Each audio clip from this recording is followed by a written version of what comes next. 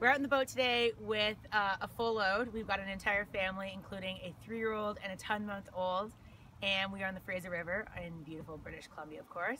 Um, we are sturgeon fishing, which is what we love to do here on the Sturgeon Slayers boat. And they eat a couple of things, the sturgeon, um, bags full of roe, but also we've got some fresh meat here, some salmon, and these puppies are actually really useful instead of using a fillet knife, we like to use these and you can really get a good grip on them. And actually they work, in a sense, they're almost even easier than the knives for this situation. So we're cutting up some bait, then we're toss them on the line.